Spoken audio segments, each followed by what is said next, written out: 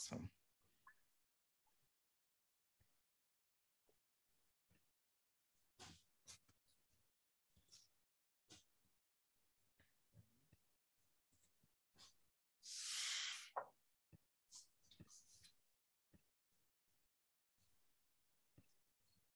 Can everyone see my slideshow okay still? Yep. Fantastic. Okay.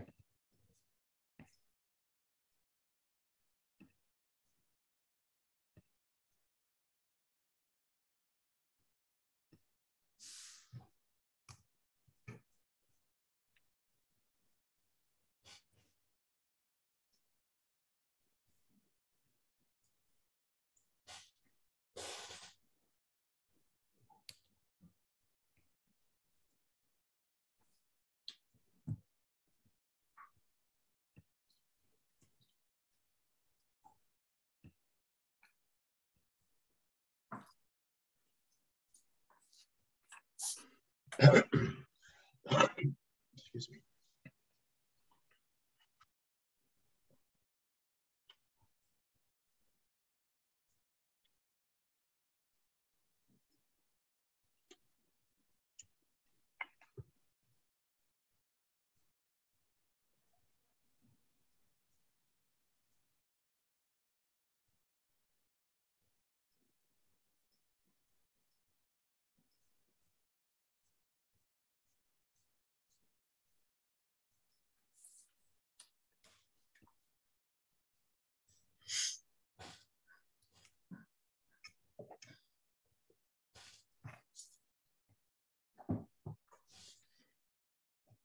Okay, well, hello everyone. Thank you so much for joining us.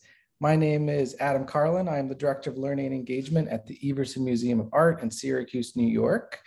Um, before we dive into this evening's program, I'm going to take a quick moment to tell you all about some exciting things that are happening here at the Everson. Um, we recently opened our exhibition, Curious Vessels, the Rosenfield Collection, in our Paul and Sharon Phillips Ceramic Center. Uh, this exhibition features dozens of functional ceramic pieces from Louise Rosenfield's collection who had one important prerogative for the donation of these artworks that they be used. So our, our upcoming restaurant, Louise, will be stocked with these ceramics pieces that patrons can eat out of and drink out of. It's a super fun and interactive exhibition and definitely a must see. Another really quick mention is Charlie Friedman's exhibition, Soundtrack for the Present Future an immersive auditory installation of over 70 secondhand guitars, mandolins, uh, and basses to come together to create this incredible singular instrument. Tomorrow, there'll be a live music recital featuring original compositions uh, played on this incredible installation by David Fulmer and the New Leaf Ensemble. This installation sadly goes down April 10th, so head on over and do it soon. We also boast an array of upcoming adult workshops, youth classes, concerts, film screenings, and more. You can learn more about um, on our website at everson.org. So the program tonight is part of the exhibition Woe by artist Dawn Williams Boyd and made possible by our generous sponsors, the Coby Foundation and the Lenore G. Tawney Foundation. Woe, curated by Daniel Fuller for the Dodd Galleries at the University of Georgia, will be up at the Everson also until April 10th. So there's still time to head down there to see this incredible and powerful exhibition. Woe is a collection of cloth paintings that reflect for, for Dawn a lifelong critique of social injustices and racial violence, epic battles with misogyny and physical and psychological abuses of power. Dawn collages uh, together with fabric monumental moments of American history that are so often lost or ignored. So when speaking with Dawn about creating some learning and engagement programs as part of this exhibition, it really became clear that the engagement initiative should have the same intention as the artworks themselves. They should be there to preserve and teach history. So to do so, Dan, Dawn provided us with her uh, reading list of books that either inspired works in the exhibition Woe or other pieces throughout her career. So these books from this list are on display at Syracuse University libraries and branches of the Onondaga County Library, both of, both of which are sponsors also of tonight's program. Um, so students and community members are encouraged to take these books out for loan and learn about the history themselves. And we are just so lucky to have uh, an author of one of those books, Ben Green, who wrote before his time, The Untold Story of Harry T. Moore, America's first civil rights martyr, here with us. Um, as you will see, uh, this book to help inform the piece in the exhibition, uh, Peaches and Evangeline, that Dawn will be speaking about in just a moment. I am also just so overjoyed that we also have joining us um, Harry T. Moore's grandson and Evangeline Moore's, again, we'll learn about, about in a moment, uh, son, Drapher Skip Pagan. Uh, Skip is dedicated to continuing his mother's work of educating people about the legacy of his grandparents. So I trust that this will be a really exciting conversation. Um, after hearing from Dawn, Ben, and Skip, we'll have lots of time for questions. So throughout, please feel free to write those in the Q&A option. Um, and I'll field them when the time comes. And I'll also put the website link in the chat where you can learn more about our distinguished guests. And it is my honor to introduce Dawn Williams Boyd. Adam, thank you so much. Hello, everybody. Um, I want to thank the wonderful folks at the Everson and especially um, Adam Carlin for inviting us all here today and for our sponsors for making this possible. Um, uh, Peaches and Evangeline is a, a one of several pieces of artwork I've done over the years that are part of a series called Sins of the Fathers that discusses racial atrocities that have happened throughout the United States history um, over the last 400 years or whatever it is. Um, the interesting thing about this particular piece is that unlike most of the pieces in that series, this one is uh, it doesn't show anybody being lynched. It doesn't show anybody being abused. It shows two beautiful young African American women apparently at their ease. And I did that specifically so that the image would draw you in, so that you would have the same kind of discovery that I had when I first encountered Mr. Green's book. The piece of the title that enticed me was The Untold Story. And I had been steeping myself in stories about racial injustice um, for that particular Sins of the Father series. And frankly, I had never heard of Harry T. Moore. And when asking my contemporaries the question, they had never heard of him either. So the fact that Mr. Green had put the untold story, and then he, I think he also put uh, a martyr to the civil rights um, effort, that intrigued me. So um, I frankly found the book at a used bookstore um, some many years ago, and I was intrigued by it because it was just this plain little black book. I think it had lost its cover and so um, I picked it up and read the first couple of pages inside, and I was interested to know more. So I skimmed through it, paid for it, took it home with me, read it cover to cover. And I was amazed that, you know, before Medgar, before Martin Luther King, before Malcolm X, before all the people that we are familiar with who were instrumental in the struggle for the civil rights of African Americans in this country, um, there was this man who was out in the woods in Florida or in the swamps in Florida for all intents and purposes, you know, working, doing this work by himself. And um, he was uh, interested in making sure that uh, our people took advantage of a situation that we had finally been uh, uh, been given, and that is the right to vote. And isn't it interesting that here we are again, what 50 odd years later, having the same issue come up. So I think it's very appropriate that we're talking about this particular civil rights hero at this particular time. what um, we're going to hear a lot more from uh, Mr. Pagan and Mr. Green about the history. I want to talk to you about the artwork. Um, this piece was done in 2004, and so that was about three years after I began or after I had switched from painting in uh, acrylics on cardboard and plywood, and I began to work in fabric in earnest. For those of you who have are not familiar with my work and have not seen this particular piece, it is in fact made totally of fabric. There's no paint on it at all. It's made totally of fiber. Um, I like to refer to my work as cloth paintings because as an artist, I work from, I began my career as a painter, as I said, in oils and acrylics, and I still feel like I'm painting. I just changed my medium from oil and acrylics to fabric and thread and embroidery, floss, etc. So this piece is um, was done in 2004. It's 72 inches tall and 53 and a half inches wide. When I first started making um, cloth paintings, I was working from the tradition of uh, quilting versus painting. So there are several pieces of this uh, cloth painting that are a little bit different from the work that I'm doing now. Uh, for example, it has a border, which um, my current work no longer has, and it has a uh, black line that sort of encloses the piece.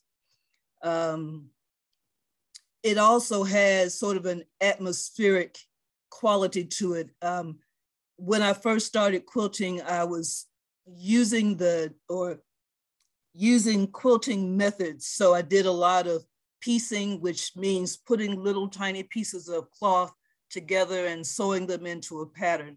And if you look at the background behind Peaches and Evangeline's head, you'll be able to see the squares of fabric that I have sewn together to make uh, on the upper left-hand side some greenery that would have appeared behind their vehicle.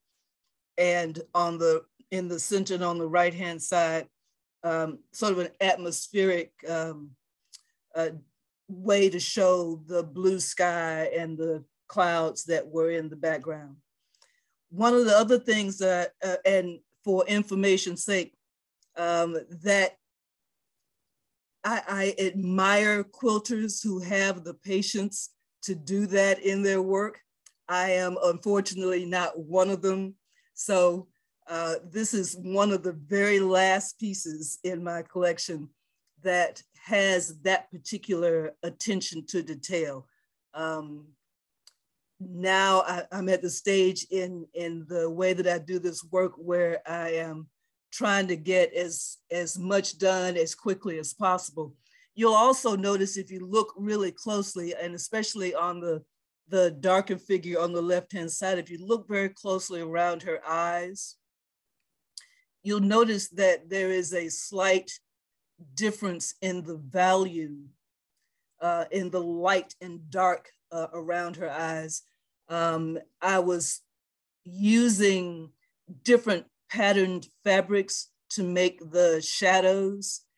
And I've stopped doing that also simply because I've gotten older and my fingers don't allow me to make little tiny fold overs that way anymore. Um,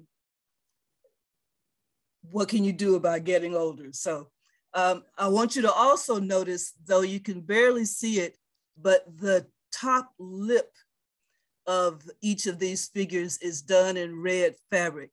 And I will confess to you that that was not the way it was done originally. Originally, I had just done a dark lip to simply indicate that it was the top lip versus the bottom. And then I had, uh, many, many years ago, I had a gentleman walk up to me and ask me, why are those two guys wearing dresses? he was interpreting the black lip as mustaches and even though everything else in the piece indicated that they were women or girls, what he saw was two guys with mustaches wearing dresses. So even though young uh, teenage girls in the 40s would not have worn red lipstick, I had to go back into the piece, which is something I really dislike doing. But I went back into it and made a slight adjustment so that we don't have to have that conversation anymore. I thought that was hysterical. So my the the what you'll find many times in the work that I make is that there's two things happening from my perspective. One is that I'm trying to tell you a story. In this particular instance, what I have done is to take a photograph that Harry took of him, himself, of his daughters uh, in the early 40s on a time when they were out and about, riding around in the car, doing what people do when it's a beautiful, warm, sunny day. They may have been out visiting or whatever it was to do at that time. But he, he stopped and he, took, he made a point of recording the history of his family by taking a picture of his children up against what I'm going to assume is his car. So the as I said earlier, the, this piece is very different from most of the pieces in the Sins of the Father series in that it does not show something bad happening. It shows something really wonderful happening. And as I said earlier, I wanted you, I wanted this piece to draw your attention so that when you got up close to it and read the little sticker that's on the side of it, at where it talks about what happened to their parents, this image would stick in your head versus the image of the way their parents died. That was really important to me. I hoped that you would find the book, read the book, learn some history, and uh, understand that even here in 2022, we are still dealing with some of the issues that uh, were happening in 1942 and that it's time for us to push on and pass that. The other thing that I always try to do in my artwork for my own uh, interest is to figure out a way to do something that I have not done in previous pieces. So I had done the patching before, as I said, this is but the last time that you will find this in my work. What I had not done, though, if you'll notice on the figure on the right hand, the right hand side, the little um, shirt that she's wearing, the little blouse she's wearing is made of strips of lace. Um, those of you who are old enough to remember women's fashions from the 40s, I'm not quite that old, but I've seen pictures um, oftentimes you would see um, a blouse that was sheer because we're talking about Florida and we're talking about the summertime. So it's extremely hot, it's extremely sticky. And so you would wear as little as possible um, to maintain your modesty. But for young women in particular, what you would often find is a very sheer shirt or blouse that you will wear over your bra and over your slip, but it would be sheer to the point where you would be able to see little peaks of the undergarments. So I used uh, strips of lace, one layered on top of the other to make that um, type of shirt. And I thought it, I think it came out pretty well. Um, the other thing that I wanted to do with this piece, I had, I'm, I'm a crazy person when it comes to fabric. Um, when I was painting in acrylics, I spent a lot of time in paint stores and now I spend a lot of time in fabric stores. And I found the, the flowered pattern that the figure on the left is wearing and held on to it for a very long time, trying to figure out how I was going to use it and I remembered or I was inspired to see that uh, again, women in that time frame, especially in the summertime, wore very lightweight, very light colored, and oftentimes very flowered um, garments. And so I decided to go ahead and use this piece of fabric. You'll notice that there are ribbons at the um, elbow on the left and at the neck of the figure on the left. And you will also notice that the fabric of their clothing is the same fabric that we used around, that I used around the edge of the piece. So that is Peaches and Evangeline from the perspective of the artist. And I hope that you will take the time to read the book that we'll have been talking about later. And uh, Adam, I'll throw it back to you. Thank you very much. Thank you. Thank you, Dawn. So I'm going to go uh, hand it over to Ben Green. Uh, and please just give us a moment as we switch screens. For those of you who are just joining us, we're going to have a Q&A at the end of this. So please uh, don't hesitate to ask questions in the Q&A option below.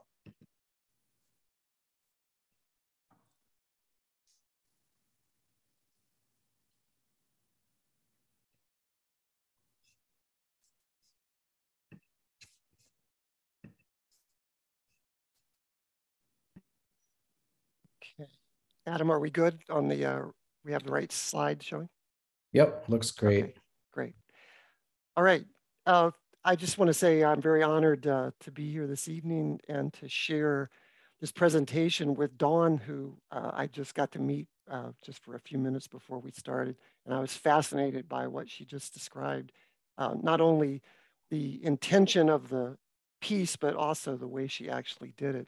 And also with Skip uh, Pagan, the grandson of Harry T. Moore. So um, what I'm going to do, actually, uh, uh, I have one slide I just want to show you. I, this is the, I've written four books. Um, here's a slide about the other, uh, two of the others. The left, one on the left is about a little fishing village my family's from. And then my most recent book uh, is the history of the Harlem Globetrotters. But clearly the one that's most significant of the four is the one about Harry T. Moore. Um, and so what I'm going to do uh, right now is tell you a little bit about uh, Harry Moore as a person, and then about the incredible work he did as a civil rights leader on three major fronts, education, lynching, and the right to vote. And then Skip is going to share his reflections about his mother, Evangeline, and his grandfather, which will bring all this home in a very uh, personal way. Personal way. Uh, but I'm going to start um, with a famous uh, quotation uh, from William Faulkner, which fits a lot um, with what Dawn was saying earlier. Faulkner wrote, "The past is never dead; it's not even past." And this is going to be really our our text for this evening, our chapter and verse, so to speak. And I'll keep coming back to this. And I hope by the end you'll come to agree with me that this story is not ancient history um, even though some of these events happened decades ago, the underlying issues are still with us today uh, in some of our own lives and certainly in the lives and the memories of our parents, our grandparents, and perhaps even our children. So Harry Tyson Moore was born in 1905 in a tiny community. It's not even incorporated. Uh, it's called Houston just south of this town of Live Oak in Suwannee County, Florida, just a few miles from the river that Stephen Foster immortalized in song. So, what was the world like in 1905 for young Harry Moore? Well, uh, frankly, Suwannee County still looked and felt very much like the Old South. Cotton was still king. Um, in the next few years, the boll weevil would ravage the cotton industry to the point that tobacco, turpentine, and naval stores became more of the dominant um, agricultural products. But no one in 1905 would have mistaken Florida for a vacation paradise. Annual per capita income was barely half the national average, $112 a year. Children attended school only 50 days a year on average. And in fact, I have a picture of young Harry Moore in school. See him with the arrow. This is the earliest photo that we have of him. In 1905 in Suwannee County, um, it felt like the Old South because it was the Old South. And uh, in Suwannee County and all over Florida, racism was overt and pervasive. Social scientists talk about institutionalized racism, meaning it's not just that some white people don't like black people, but that racial prejudice is embedded in the schools, churches, businesses, and government. And it's also one way it is institutionalized is in popular culture. And these postcards, which were known as coon cards, were very popular in Florida. They're just series after series of these that were sold all through into the 1930s uh, and 40s. Um, in 1905 it was only nine years after Plessy versus Ferguson made separate but equal the law of the land. And the Florida legislature, shown here on the Capitol steps in my hometown of Tallahassee, uh, had made it illegal for white and black children to be taught in the same school, for white teachers to teach black children, and even textbooks for white and black children had to be stored separately. Um, beyond that, uh, emboldened by Plessy, the legislature instituted more Jim Crow laws so that were, there was separate seating on railroads, streetcars, there were separate waiting rooms and ticket windows, separate jail cells, separate reform schools, and interracial cohabitation and marriage were outlawed. Department stores refused to allow blacks to try on clothes, and they had to wear tissue paper over their hair to try on hats.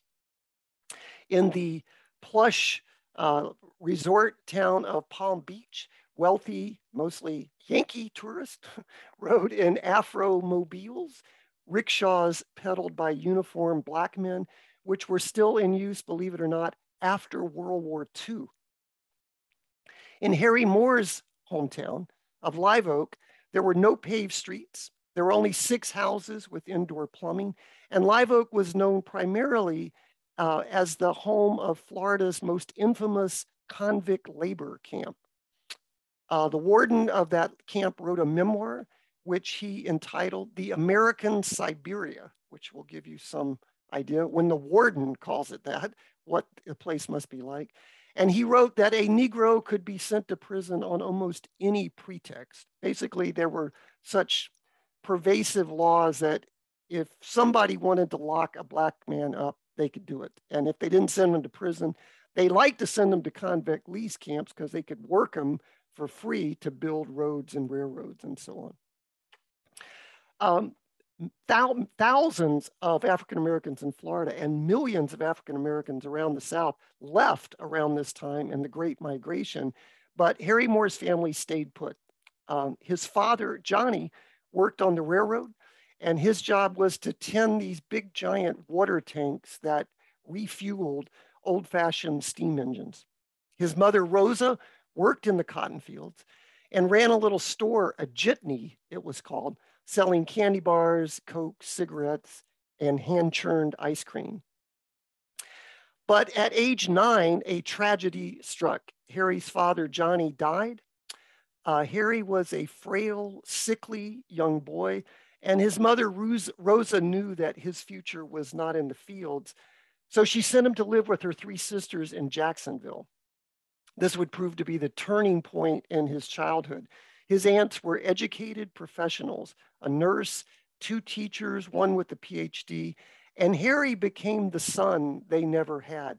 This country bumpkin from the sticks of Suwannee County was suddenly immersed in a vibrant African American community in Jacksonville. There were many Black owned businesses um, he was exposed to the Harlem Renaissance, which was exploding in New York. And more than anything, he fell in love with learning and with education. In 1919, he returned back home to Suwannee County and enrolled in the high school program of Florida Memorial College, which still exists today only in Miami. Uh, here's another example of institutionalized racism. As late as 1931, more than half of Florida's 67 counties did not even have a public Black high school, which is why every historically Black college also ran a, a high school program. The past is never dead. It's not even past. If Black families wanted their children to receive a high school education, they had to send them away out of town or even out of state to Hampton or Morehouse. The year Harry enrolled at Florida Memorial, the state of Florida spent $11 per capita for white students and $2.64 for Black students. Uh, Harry excelled at Florida Memorial College, which offered a classical education. He studied Latin, Greek, and French, along with required Bible courses. His transcript shows all A's for four years, except for one B plus in French. He was so smart, the other students nicknamed him Doc. Uh, he was an award winning debater and even played on the baseball team. That's him in the back center, uh, even though he was never a great um, physical athlete. In May 1925, he graduated at age 19 with a normal degree, which is the equivalent of a teaching certificate. uh, that fall, he accepted a teaching job. Excuse me just a sec. accepted a teaching job in the wilderness of Brevard County, formerly known as Mosquito County. And that should tell you all you need to know about Brevard County. Uh, the worst mosquitoes I've ever seen in my life were down there. Back in this day, they were known to drop full grown cows in their tracks. They just swarm on them and kill them. The only thing worse than the mosquitoes in Brevard County were the no-see-ums who would make you lose your mind uh, when they came out in the evenings. Um, he took a teaching job uh, teaching fourth grade in Cocoa's colored elementary school. And that first year, he met an attractive young woman named Harriet Sims at a bid whist party, a card party. Uh, within a year, they were married. Uh, they built a house on property adjacent to Harriet's parents in an orange grove on the outskirts of Mims, a tiny hamlet directly west of Cape Canaveral. That's the way to place this. Think of where the rockets are at Cape Canaveral. You can basically see the launches from Mims, Florida. The Cape is straight across the, uh, the inland waterway. Two daughters quickly followed, Peaches and Evangeline. In 1927, Harry was promoted to principal of the Titusville Colored School and eventually became the principal of the Mims Colored School, where Harriet taught as well. Life was good in many ways. They had these two beautiful daughters, they had this property, they had their own orange grove. But by 1935, 34, I'm sorry, this reserved, bookish, soft spoken school principal, not yet 30 years old, would be transformed into an activist. That transformation would change his life, his family, and ultimately the state of Florida. That year in 1934, he organized the Brevard County chapter of the NAACP. In another few years, he became the first executive secretary of the Florida State Conference of the NAACP. And for that point on, every weekend, they would finish school on Friday and they would load up and first their Model T and then their Model A, and they would travel the state of Florida. For 17 years, he traveled the back roads, going from small town to small town to big city, organizing NAACP chapters. Um, he began his activism with what he knew best, education. The disparities between black and white schools and teacher pay were enormous. White teachers were paid twice as much as black teachers. In fact, the least qualified white teacher made more than the most qualified black teacher, including principals. Black schools were treated shoddily in general. Uh, in 1937, the Brevard County School Board spent $69 per capita for white students and $27 for blacks. Black schools often closed after five months, just in time for the citrus harvest not coincidentally, with a terse announcement by the school board that they were, quote, out of money. In the Black community in Mims and Titusville, that was interpreted as out of colored money. Harry Moore decided to do something about it. On August 5th, 1937, a letter arrived on the desk of the Assistant Special Counsel of the NAACP Legal Defense Fund in New York, a young attorney only three years out of Howard Law School named Thurgood Marshall. Backed by the Florida State Teachers Association, the Black Teachers Organization, Harry Moore filed the first lawsuit in the Deep South to equalize Black and white teacher salaries. Thurgood Marshall easily, eagerly embraced the lawsuit. He even came to Florida on the train to meet Harry Moore. He stayed at their house, which thrilled Evangeline and Peaches no end to have this handsome superstar staying at their house. Harry's best friend and teaching colleague, John Gil Gilbert, agreed to be the plaintiff. This case will be of immense importance, Marshall wrote. In New York, the NAACP predicted the case would have a profound effect on the fortunes of Negro teachers across the South. It certainly had a profound effect on John Gilbert, who was immediately fired, blacklisted, and never taught again.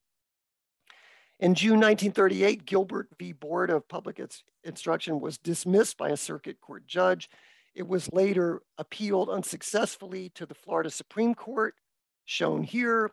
And when they made oral arguments, several of these justices literally turned their chairs around and put their faced the wall rather than facing the black attorney representing Harry Moore and the lawsuit. Um, John Gilbert, uh, the um, John Gilbert was the first to lose his job, but there were many others, including Harriet and Harriet Moore. It would take another decade before the teacher salary battle in Florida was won. Lawsuits were, after this one, they were fired, filed in federal court rather than state court, and they won all of those. So Harry Moore lost the first skirmish, but he ultimately won the war. The second battlefront that he waged war on was lynching. And filing lawsuits over teacher salaries could get you fired, but protesting lynching could get you killed. First, a few surprising facts. Despite its image as a vacation paradise, Florida was a haven for lynching. From 1900 to 1930, Florida had the highest per capita rate of lynching in the entire South. There were more total lynchings in Alabama and Mississippi, but you had a better chance of being lynched in Florida.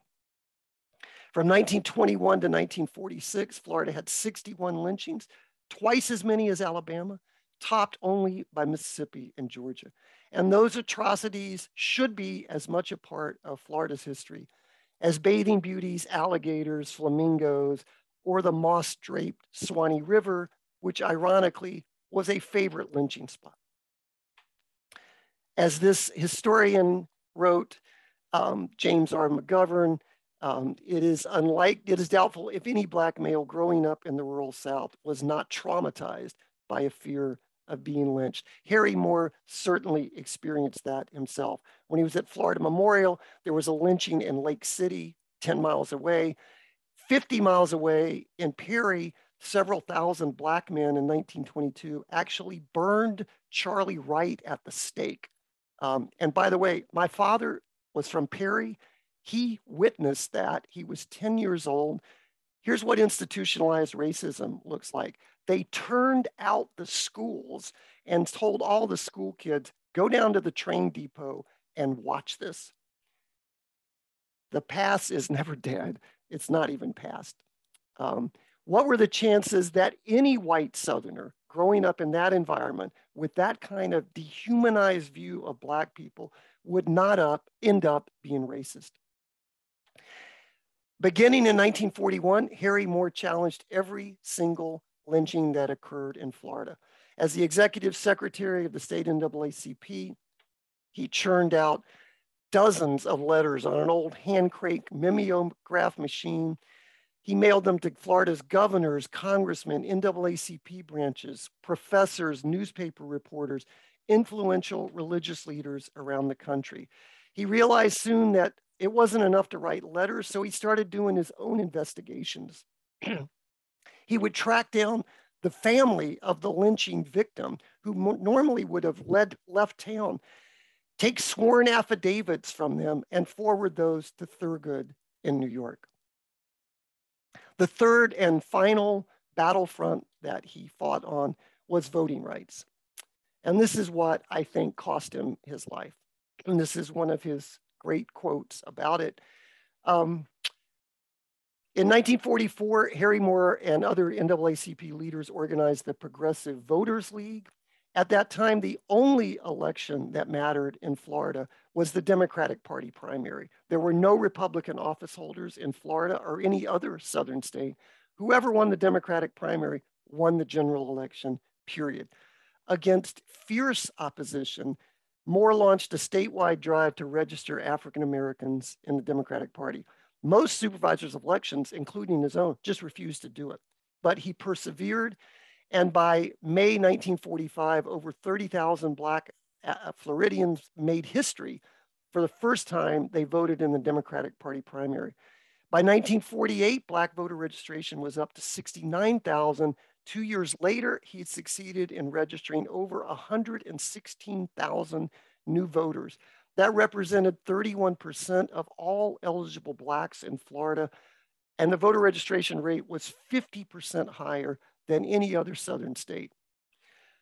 On the last night of his life, his final conversation was predicting that the Black vote would determine the outcome of the 1952 governor's race. And that's why he was killed, in my view. It was the greatest tragedy that any could befall any family, although I can't say it was unexpected, as Harry had been receiving death threats for years. Nonetheless, it seems unimaginable. On Christmas Day, 1951, he and his wife Harriet were blown up in their house.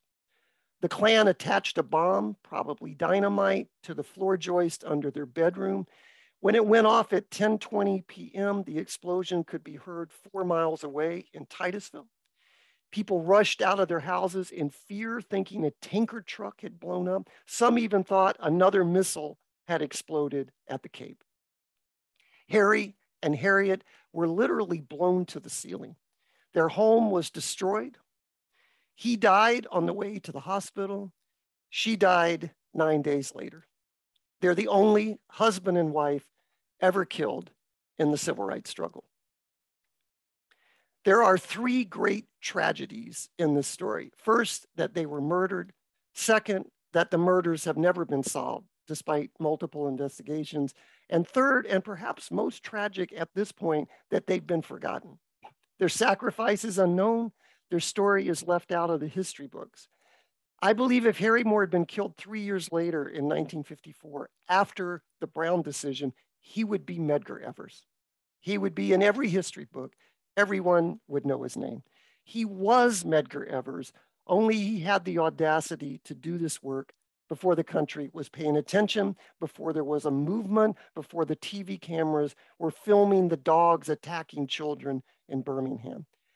It's probably too late to solve the murders, but it's not too late to remember them, to tell their story, to add their sacrifice to the history books, and to public awareness. And thankfully, there are a few hopeful signs on that count.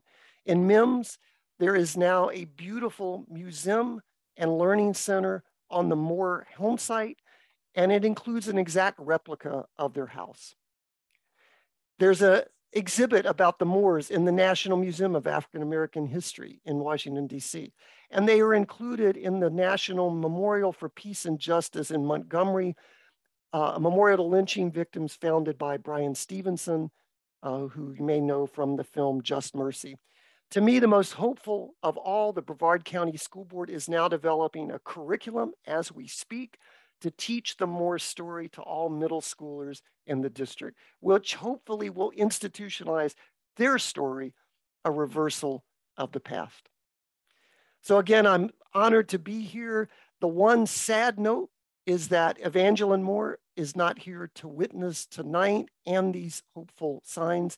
She passed away in 2015. She was a beautiful, lovely, wonderful woman. But we have the next best thing her son, Skip Pagan, who's going to share his personal reflections at this time.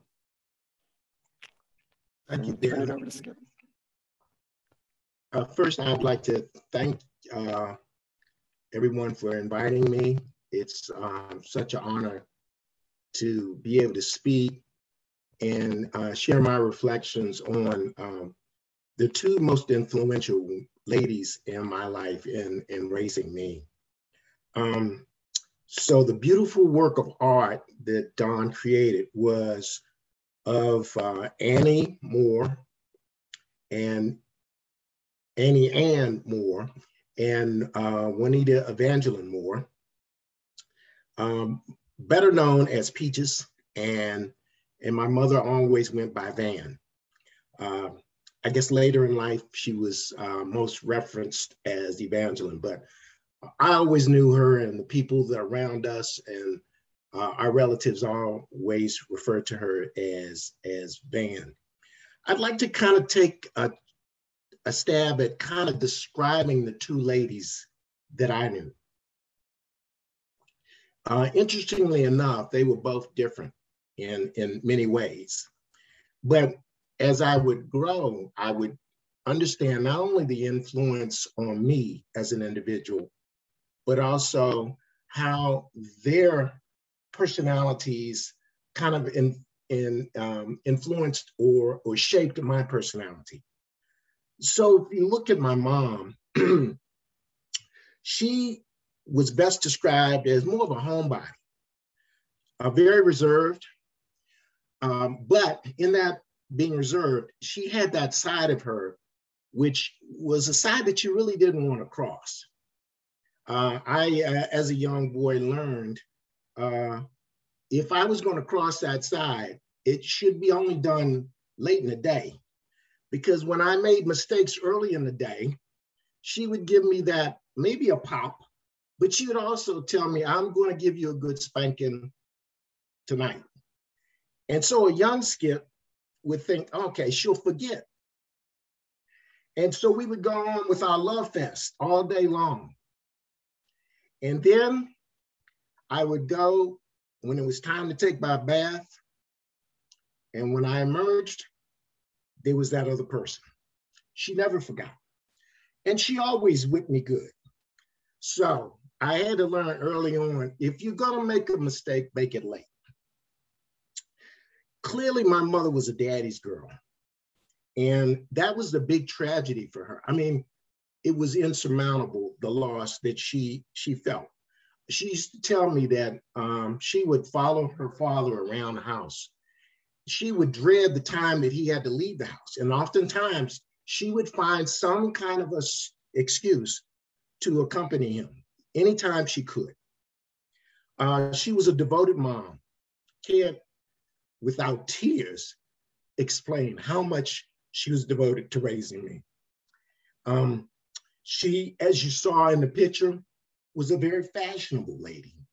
Um, she she had that aura that when she stepped out of the house, everything was in order. Um, kind of the glamour girl almost situation.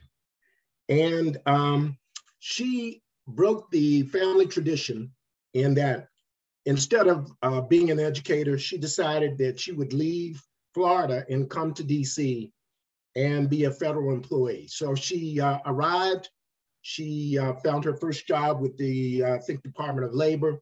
But for most of her career, she was um, with the US State Department.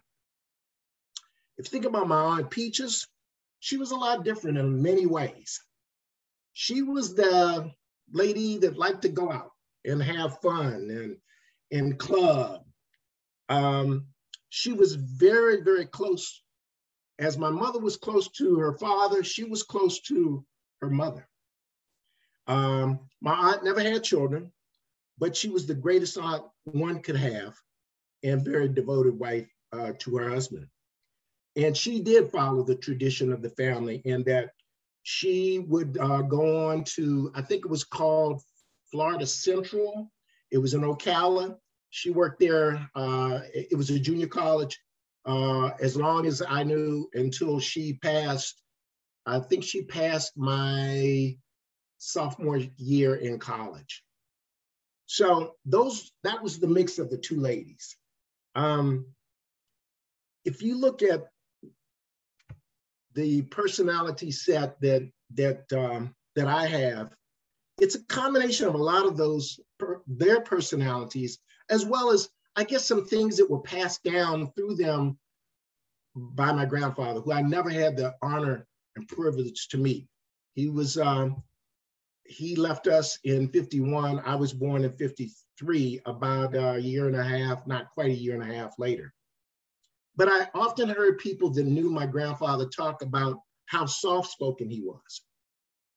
And, you know, that is kind of an interesting phenomenon because, and, you know, in my life, uh, I've never been one to really raise my voice very much. Even in times of uh, conflict, if you may, I've always taken a very soft spoken approach. The other side of me, though, is just like my mother once you push me to that other side, you got a handful. And so I, I can see how uh, her, in her interaction, that kind of influenced me. Um, my, my aunt kind of shared other things where I always, you know, as I was going, I always like to go out and party and go to clubs. And, um, and so I get a lot of my aunt in me also. And um, I think the tradition, starting with my grandparents, is that we were all big, big lovers of jazz music. And to this day, um, you know, that's one of my passions in life. You know, my wife is often amazed that we can uh, be driving along and listen to XM radio, and I can hear three to five bars of a uh, jazz musician and tell her, you know, that's Sonny Stitt or that's John Coltrane, or you know, that's uh, Lee Morgan, and um, and that comes, I'm sure, as a direct pass down from the love uh, that my grandfather had passed down through his daughters uh, to me. Um, the thing that um, I look at in my mother's evolution as she came to Washington, um, she she was amazing in the fact that she had to learn a totally new environment and culture. Um, the Washington metropolitan area during the time I was coming along, um, and for many, many years after I actually grew up, was so starkly different than the, the, than the environment in Florida. It's a, it was a night and day scenario. I often tell people that my friends knew of the way of life that they shared here in the Washington metropolitan area, where they primarily could go, even through the 50s into the 60s, they could go anywhere they wanted to, uh, for the most part. And I spent a lot of time, of course, visiting and spending time with my aunt in Ocala. And it was a stark difference here. There were so many places we couldn't go. Uh, I used to wonder why we would drive the 17 hours from DC to Ocala nonstop, never stopping in restaurants. Well, there was a reason.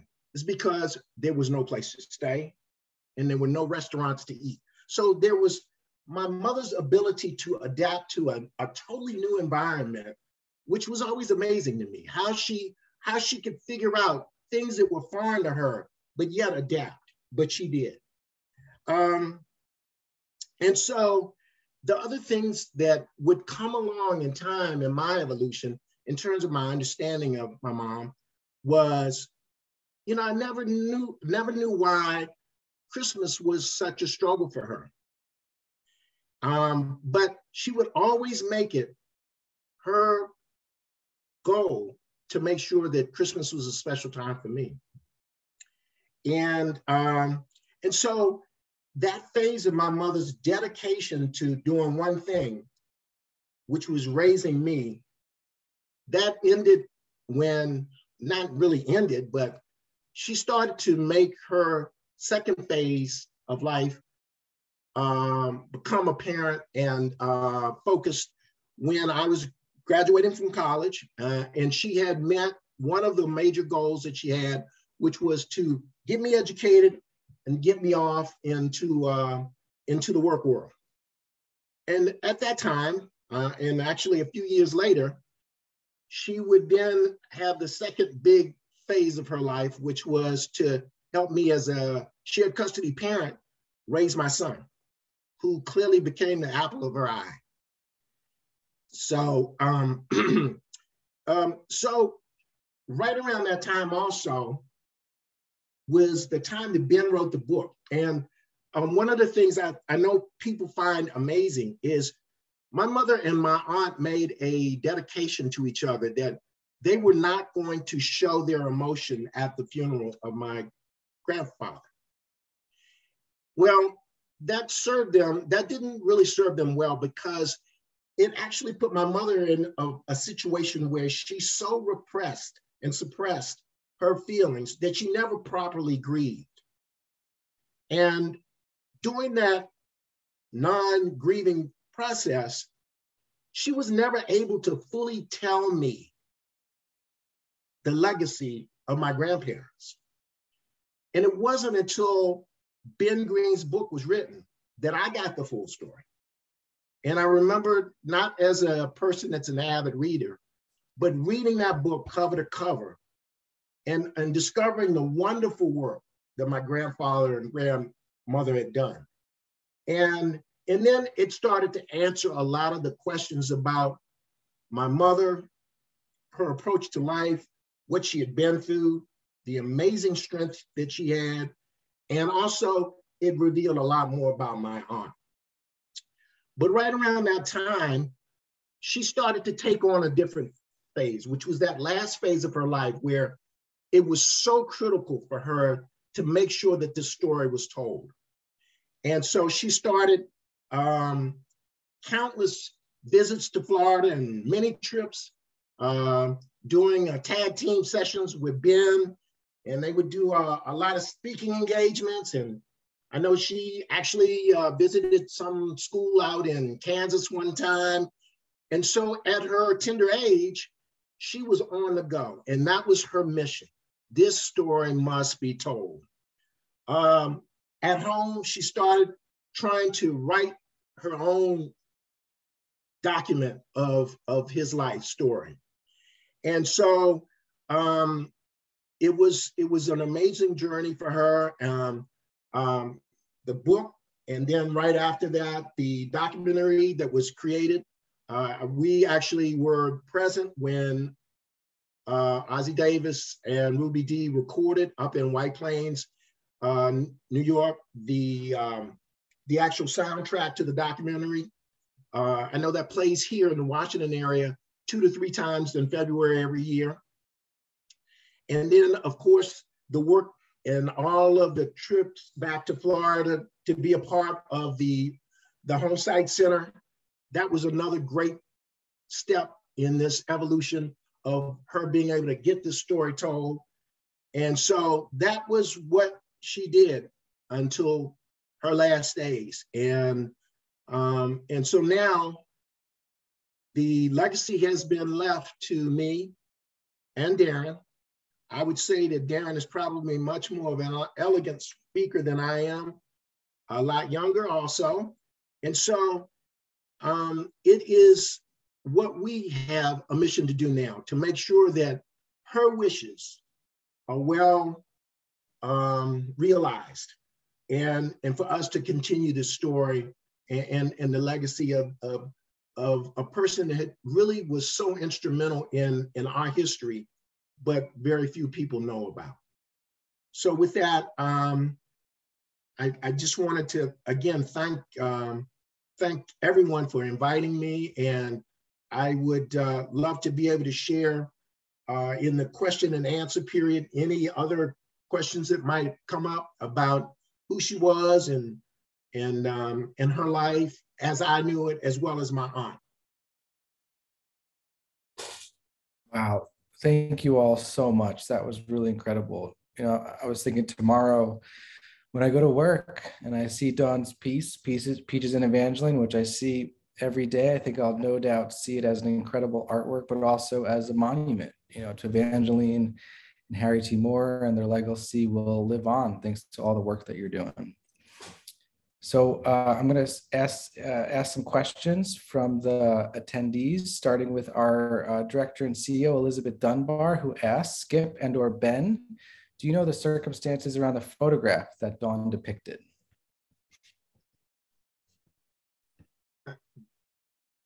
That uh, I know that we had um, I retained several pictures, uh, family pictures, and I think that was one of the family pictures that my mother had. Uh, she had uh, any number of pictures. Uh, she was really big on, on, on preserving um, time in, in pictures. And so that was one of the many pictures that she had. Uh, and uh, I don't know if you have anything more to add, uh, Ben. Yeah, I think that was, I, I, need to go back and actually look. I think it was probably they were in high school or maybe their mm. first college years. One interesting thing, um, all four of the Moores, Harry, Harriet, Evangeline, and Peaches, graduated from Bethune-Cookman College, which was 25 miles away from Mims in uh, Daytona Beach. So they were big Bethune grads. That may have been when they were uh, going to college. But yeah, it, it, you know, Evangeline had lots of family pictures. Yeah. So one, I just want to say that you are all also open to ask questions to each other don't be shy. But I, I'm just wondering, getting all of you in the room together, how does this influence your work? I mean, Skip, I enjoyed hearing about how Ben's book influenced your own view of your family's history. Um, what's it like seeing your mother's uh, through Dawn's artwork? And Dawn, oh, what is? it? yeah, it, it's it. just uh, uh, you know I was I was so pleased. I can't say how much it was. It was a, a shock, but a, a pleasant shock to see that, you know, the, that wonderful piece of work. So thank you. Thank you. It's my pleasure. It's my pleasure. Ben, isn't the photograph a part of your book? Yeah, it's in the book. Yeah. yeah. Okay, I thought so. Yeah. I, I just want to say, hearing Dawn tell the story about finding my book without a cover in some used bookstore. I just love that. And then it be, it becomes the inspiration for art. I mean, I think right that's one of the things in telling this story. The arts have really helped. I mean, there's my book. There was a documentary that Skip mentioned. It's called Freedom Never Dies, which is wonderful. It was shown on PBS. We there's now a painting. Uh, there's a wonderful song. Google this: uh, "Sweet Honey in the Rock" singing right. the ballad of Harry Moore. Oh um, wow! And what happened that the lyrics were written by Langston Hughes, there was a big um, memorial service for them after their death at, at Madison Square Garden, and the NAACP hired Langston Hughes to write the lyrics. And then it was lost into the ether of history. And I found the lyrics at the Smithsonian, and then the filmmakers hired Sweet Honey to do their version. We don't know what the original music sounded like, but couldn't have been any better than Sweet Honey. So yep. the arts can really help um, keep this story out there and interpret the story. So, but it was wonderful to me to hear, especially like just the little. It didn't have a cover. You didn't even know what it kind of what it was. it was great. You know, I think that's interesting, Ben, because um, you know I'd always known the Sweet Honey in the Rock. Um, they're very instrumental. They they they do a lot of cultural, wonderful work in the Washington metropolitan area and uh, they they are a a vocal activist group maybe. You could call them maybe refer to them as as that.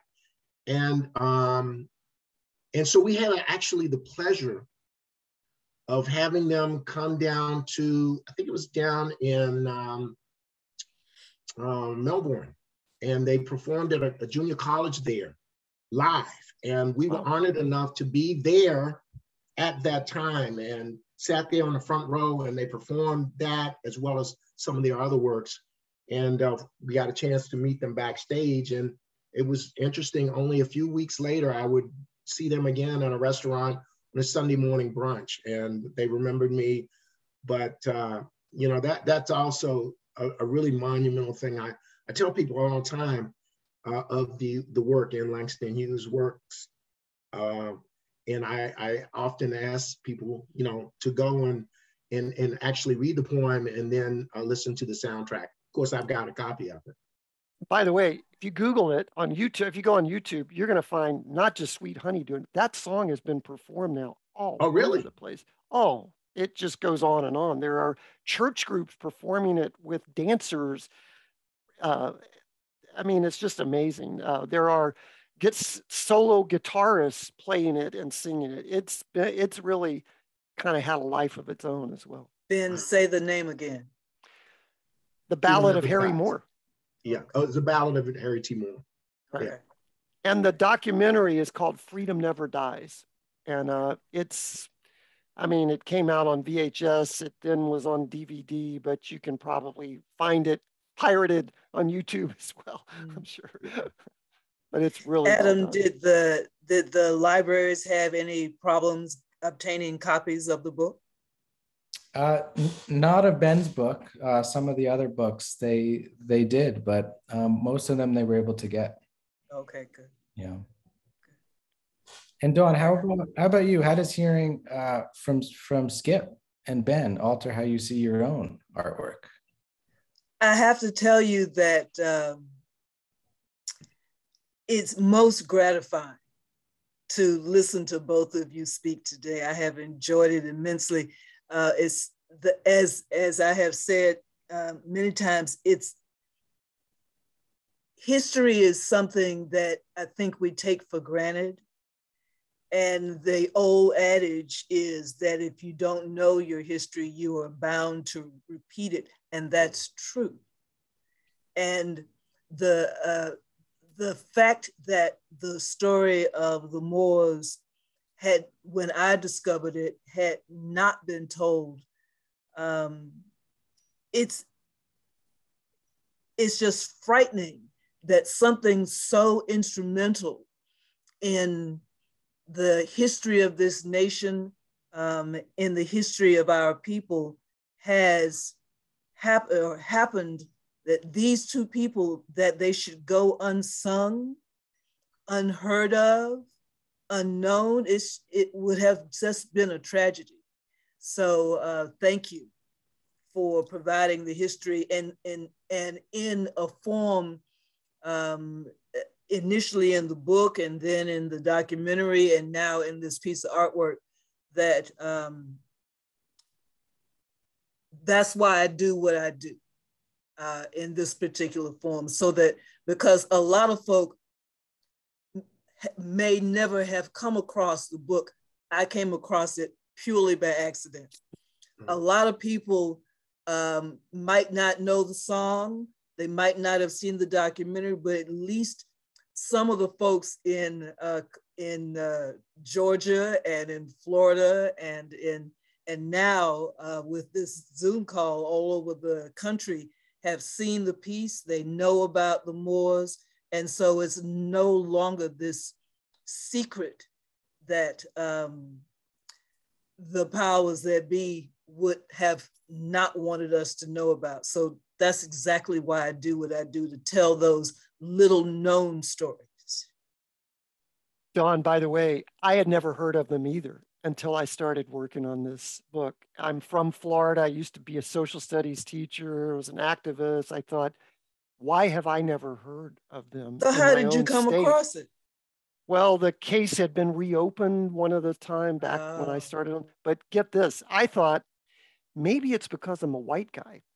I bet you in the African American community, No. this is in Florida, this is well known. I realized not at all. And what brought that home, I did a presentation at the Black Archives at FAMU here in Tallahassee.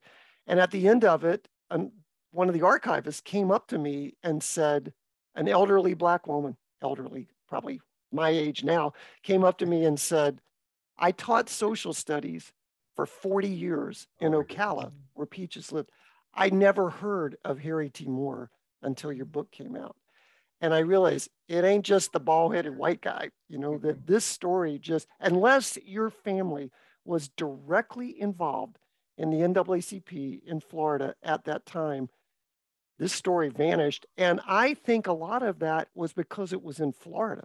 I, I've been saying if this had happened in Mississippi or Alabama, I don't think they would have been forgotten because we expect that.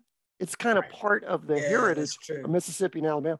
Here that's in Florida, true. Florida was supposed to be different. And this story disappeared from the from coverage in Florida quicker than anywhere else.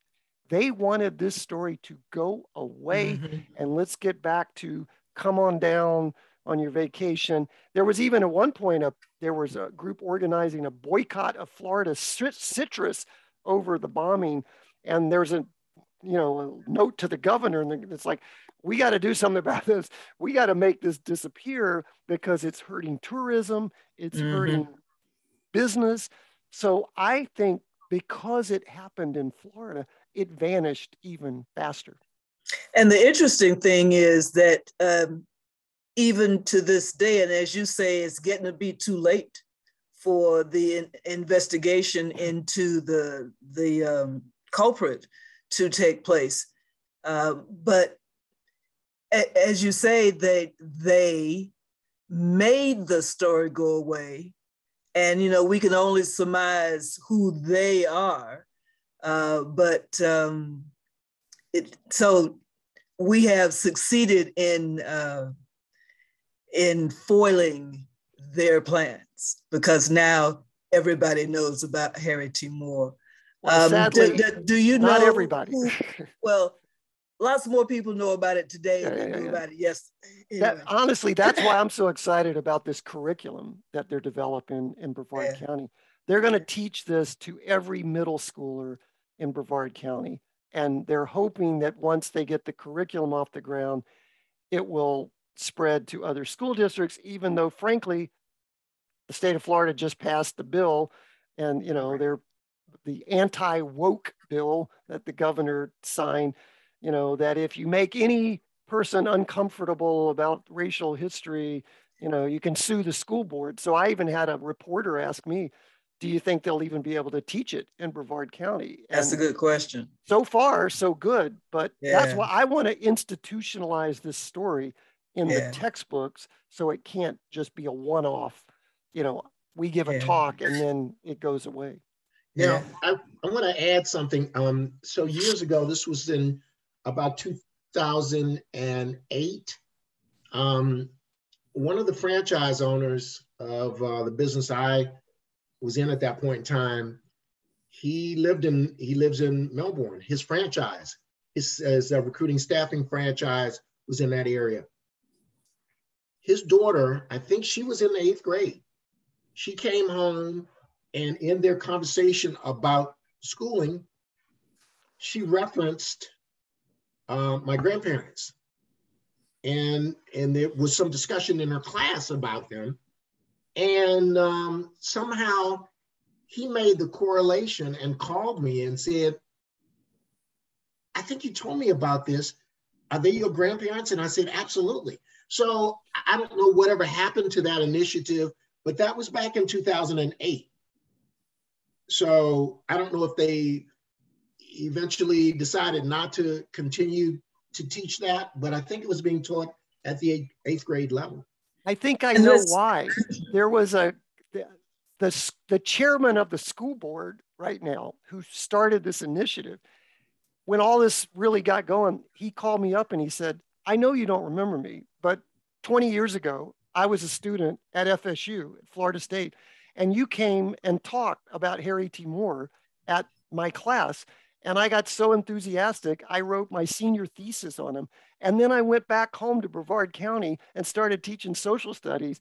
And I think it may have been that. And now he says, now here I am on the school board saying, let's do this as a curriculum. So you never know what one little contact will ripple down the road and do, you know. Right. There's a nice comment in here from one of our uh, docents who said, I gave two tours yesterday to Dawn's exhibition to elementary students, and we spent a lot of time with this piece and with the other pieces in the gallery. We had great discussions, and the teacher was able to introduce the civil rights movement to the students, noting that it'll be coming up soon in their curriculum. Mm-hmm. Thank you for these great pieces and opportunities to share with the students. That's what it's all about. Uh, the next generation. You have to know where you came from in order to figure out how you got here and where you're going to go from here. So.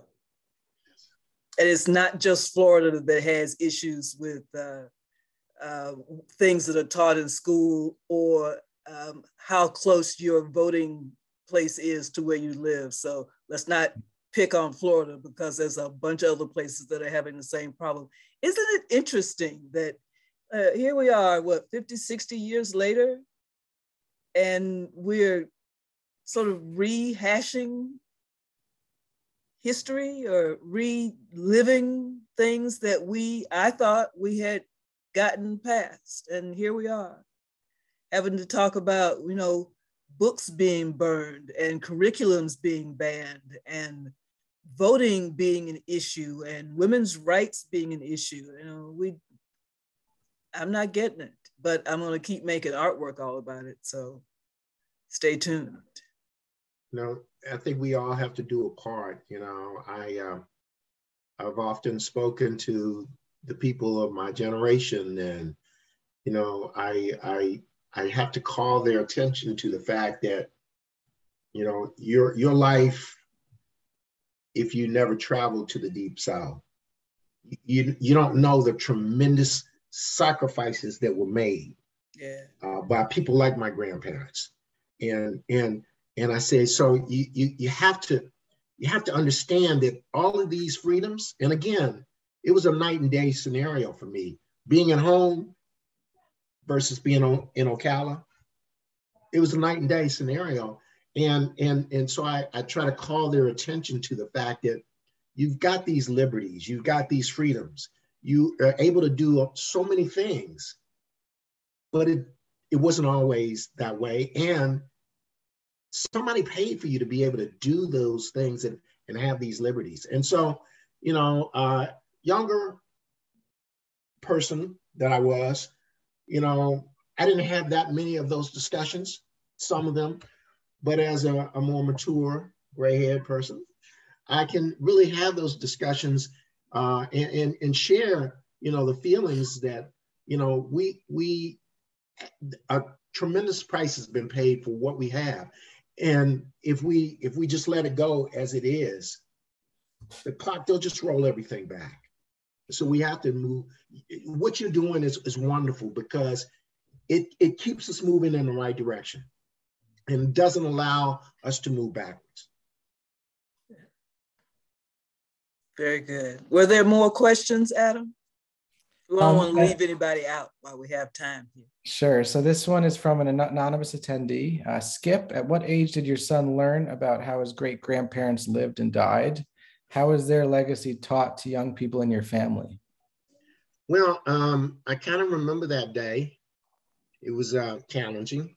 So uh, when the uh, documentary came out, we we got a copy, a pre-copy, um, and um, I got to believe he was about six-ish. And um, you know, as a shared custody parent, my mom would come up on the weekends and the time that Darren was with me and so one Saturday, you know, we had had our dinner. She would come up and cook dinner for us. And we sat down and she started the video. And um, I guess about five ten minutes into this, it got to be a little overwhelming for him. And, you know, when, when you talk about history repeating itself, um, he got very upset and he made the same statement that my mother made. And just like my mother got corrected by her mother, she corrected him. She said, he said, I hate white people. And he got corrected just like my mother did on my grandmother's deathbed when she told my mother, you're, you're a beautiful child. Hate makes people ugly, and you're not going to be ugly she didn't use the same words, but it was the same message. So I think that was the first time he learned of, of some piece of the story. And then as he has continued to grow, he's learned more and more of it. And, and but that was I, I remember that uh, just like it was yesterday. It was it was in our home, in my home. You know, your mother uh, told me when I first met her and first started working on the book that uh, a lot of her friends in DC didn't know about it. Right. And when you think about it, she was, you know, she had just come home for Christmas and finds the house is blown up and her one her father's dead and her mother's dying and she goes back to DC. How do you tell that to people? How do you tell that story? How do you say my parents are civil rights martyrs and you've never heard of them? You know, people say, right. yeah, right. Exactly. You know, and I'm the man exactly. on the moon. Like what, you know, I mean, if it if you were if they were known, then she could have told it. But she, one is, as Skip said, she had to repress this. She just had to get away from it.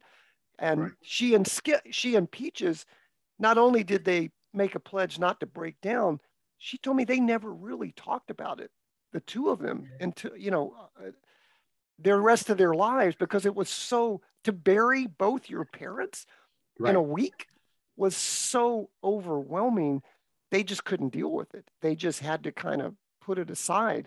And so she got out of Florida. Uh, most of her friends in DC knew her by her first name, Juanita.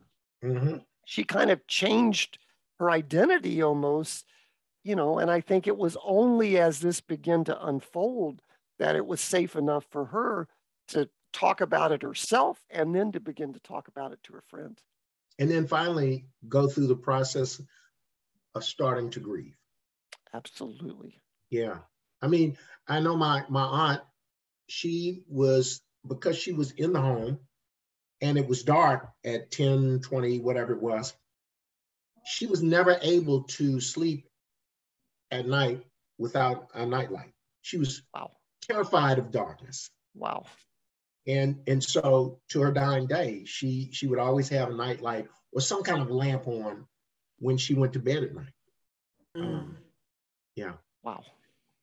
Yeah, your mother told me at one point, she said, I was a very angry person.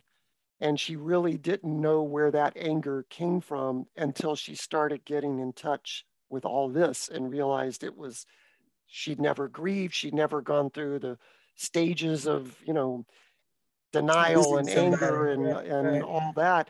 And it came out in other ways, you know, but until she really started working through this and getting in touch with it, it she wasn't even aware of how it affected her in her own life.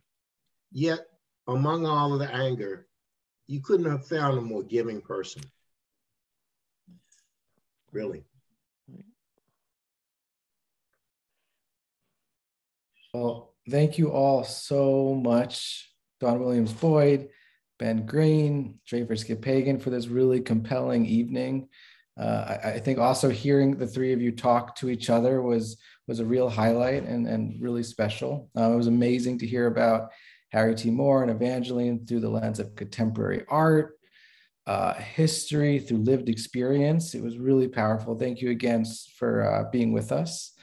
Um, it's my pleasure. Again, Dawn's exhibition, Woe, uh, will be at the Everson until April 10th.